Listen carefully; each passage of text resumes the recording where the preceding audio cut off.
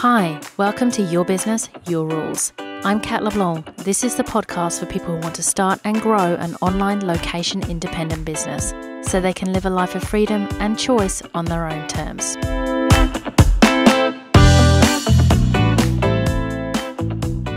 Welcome to episode 58 How to Come Up with Business Ideas. Every year, I help hundreds of people come up with their business idea as part of my role as a business strategist. It's one of my favourite things to do. Finding a business idea is the first step to a whole new life of adventure and income opportunities.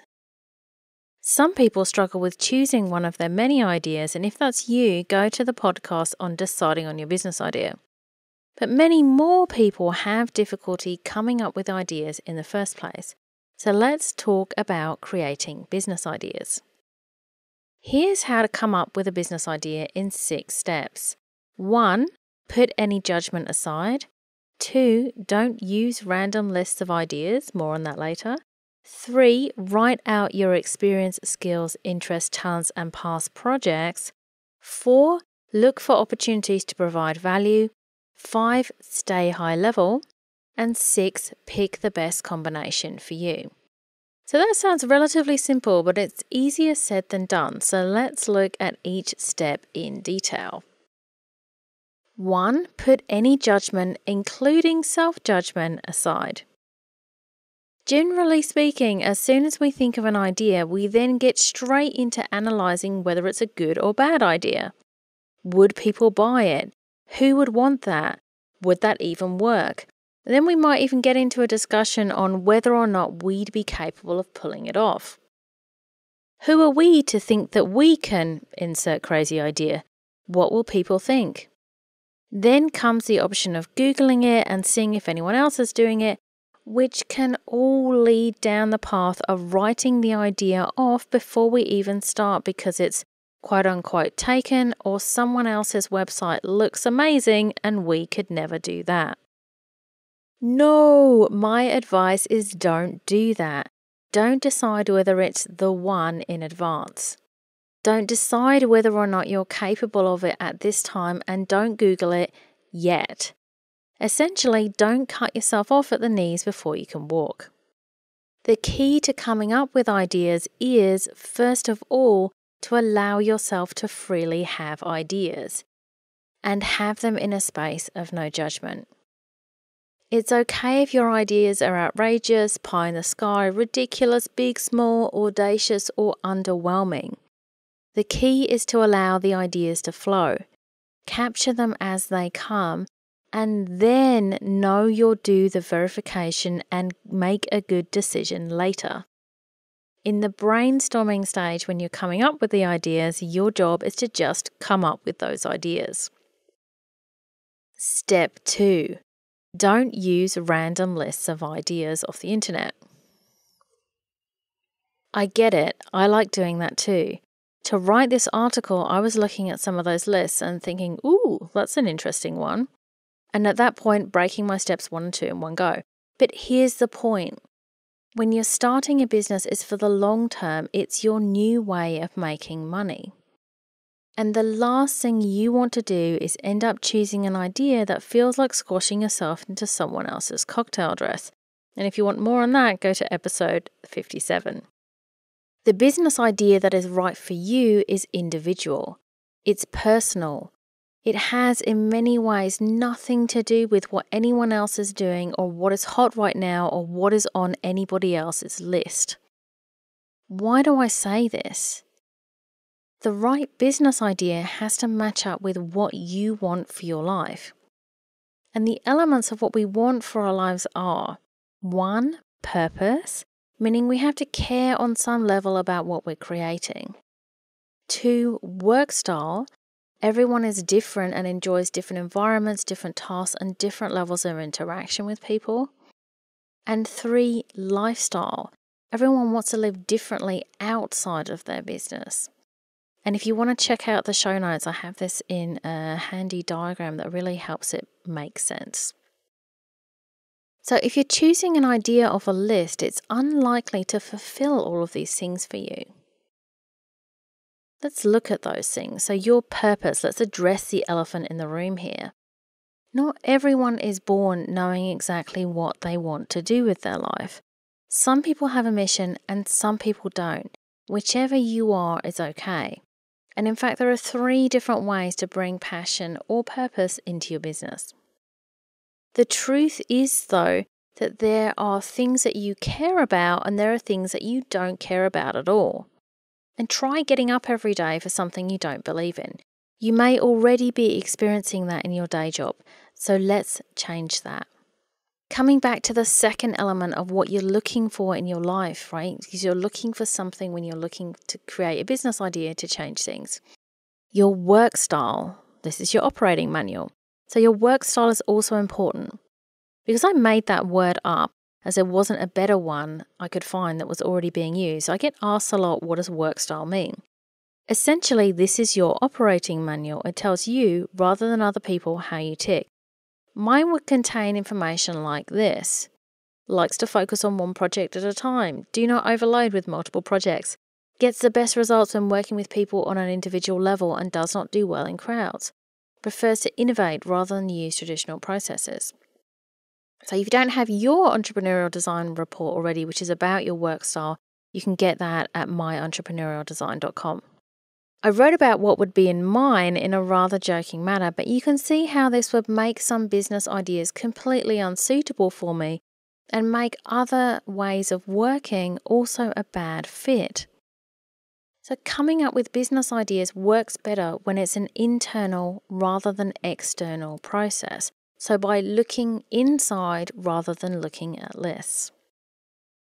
Looking at the lifestyle you want while we can all agree that we don't like long commutes, being micromanaged, or crappy working environments, and we do know that pretty much all of us want more time freedom, more control over what we do, and more money, this still looks different on an individual level.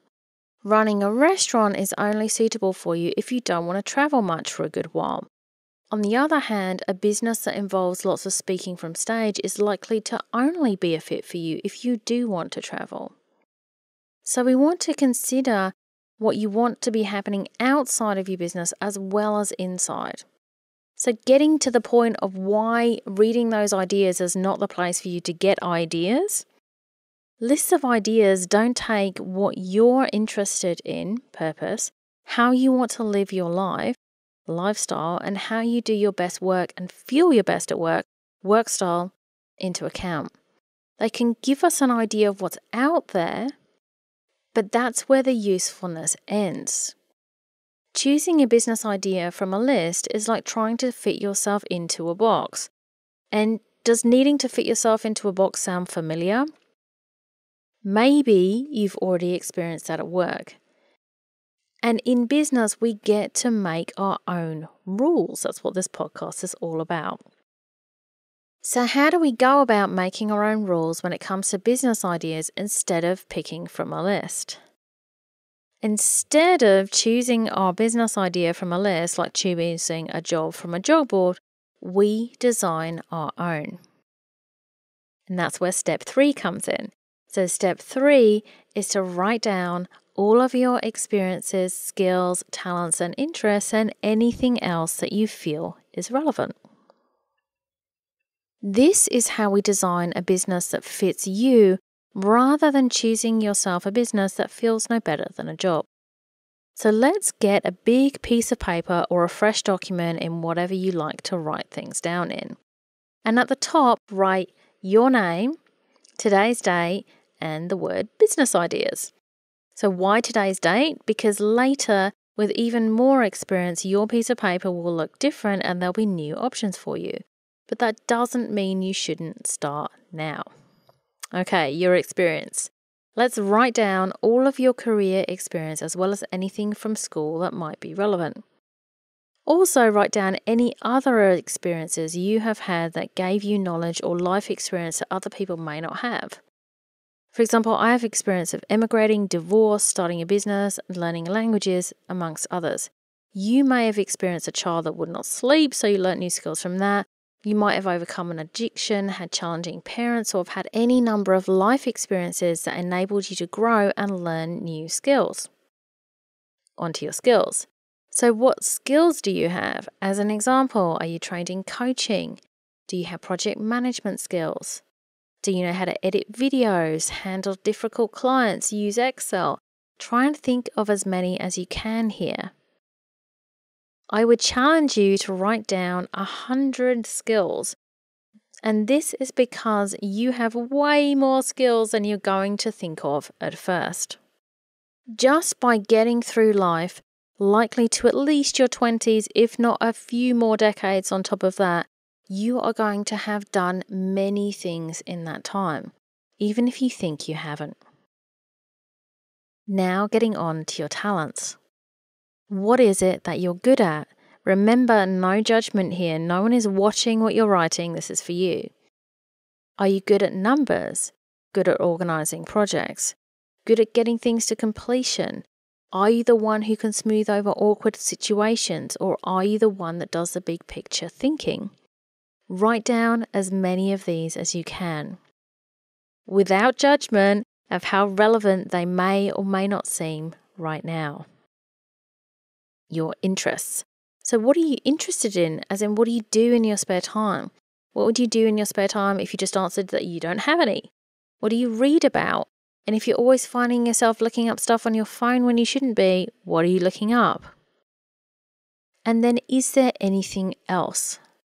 Yes, some of this will seem irrelevant, and some of it may be in the end, but the point is to get everything out of your head so you have something to work with. So if there's anything else, write it down. So now on to step four of how to come up with ideas.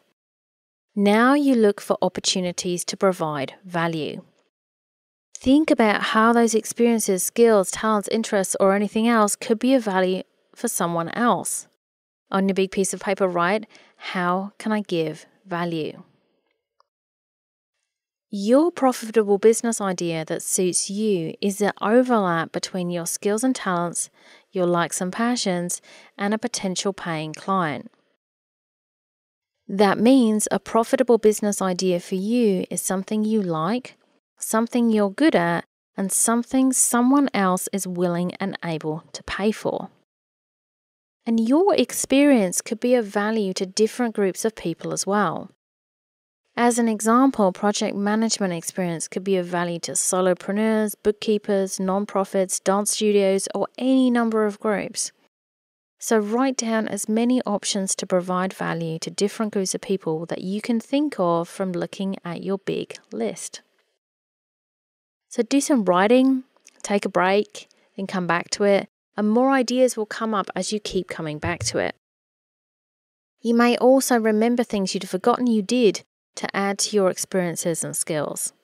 And if you'd like a downloadable version of this exercise, that's called the Business Idea Starter Kit, and it's at catleblanc.com forward slash kit.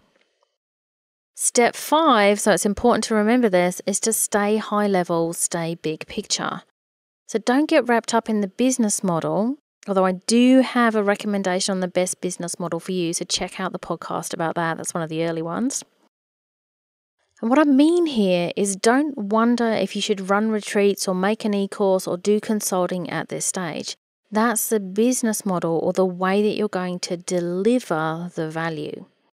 Right now, you more want to be thinking in terms of I'm going to help busy career women lose weight, or I'm going to help stressed out small business owners get their books in order, or I'm going to help people who work long hours get their dogs exercised, or whatever it is on the list that you have of the value that you can provide.